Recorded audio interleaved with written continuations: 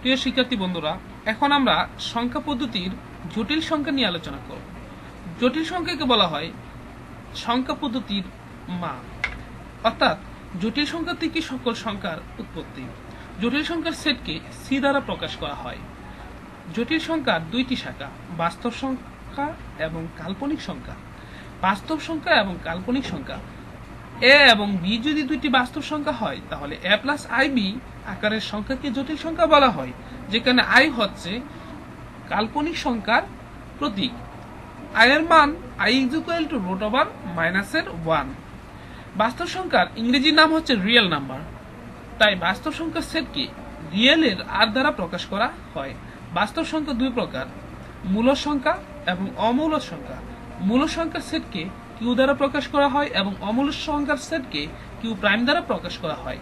মূল সংখ্যার আবিষ্কারক টিটাগোরাস এবং অমূল সংখ্যার আবিষ্কারক হিপাসাস মূল সংখ্যা, সংজ্ঞা হচ্ছে যে সকল সংখ্যাকে দুইটি পূর্ণ সংখ্যার অনুপাতে প্রকাশ করা যায়, তাদেরকে মূলক সংখ্যা বলা হয়।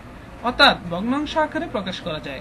অমূল সংখ্যা, যে সকল সংখ্যাকে দুইটি পূর্ণ সংখ্যার অনুপাতে প্রকাশ করা যায় না, তাদেরকে অমূল সংখ্যা বলা হয়।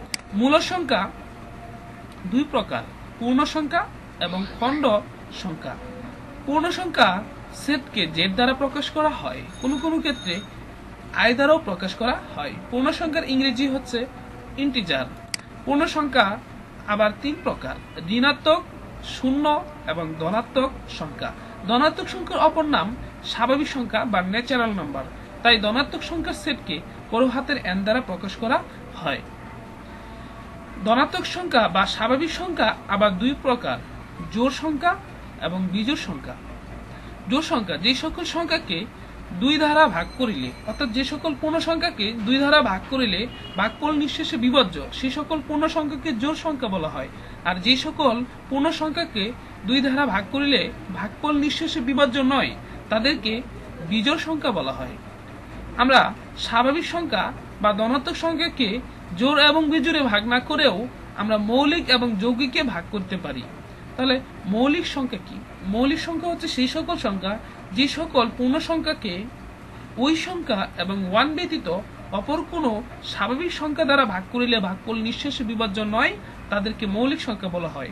আর যৌগিক সংখ্যা হচ্ছে যে সকল সংখ্যা, যে সকল পূর্ণ সংখ্যা এবং পূর্ণ সংখ্যাকে ওই সংখ্যা এবং ওয়ান ব্যতীত অপর কোন স্বাভাবিক সংখ্যা দ্বারা ভাগ করিলে ভাগফল নিঃশেষে বিভাজ্য, তাদেরকে যৌগিক সংখ্যা বলা হয়।